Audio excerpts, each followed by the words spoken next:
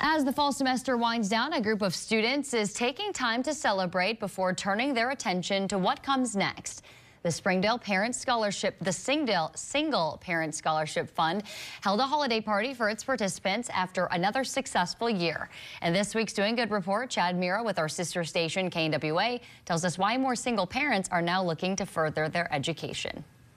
Higher education can open a lot of new doors for people. So Single Parent Scholarship Fund is helping people create a brighter future for their whole family.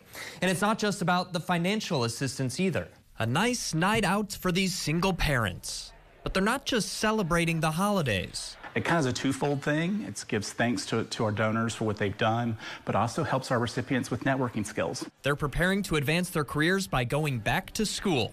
And it's all possible thanks to the Single Parent Scholarship Fund of Northwest Arkansas. We had over 250 recipients this entire year and over 330 or so uh, children involved with the, our scholarship program as well. A record number of scholarship recipients for the nonprofit.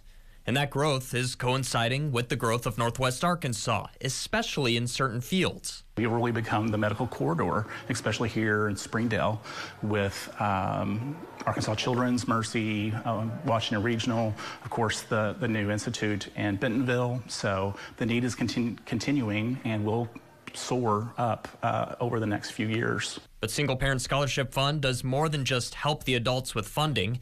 It provides resources to benefit the whole family, like behavioral health services, a pantry, and job coaching. Really try to be as well rounded as we can uh, for our recipients and their families. And then we are able to uh, refer out to great nonprofits in the area. Helping parents become more well rounded so they can continue to fill vital roles in their homes and in the community. It's already too late to apply for the spring semester, but the application deadline for summer is coming up. To learn more, go to fox24news.tv. Chad Mira, Fox 24 News.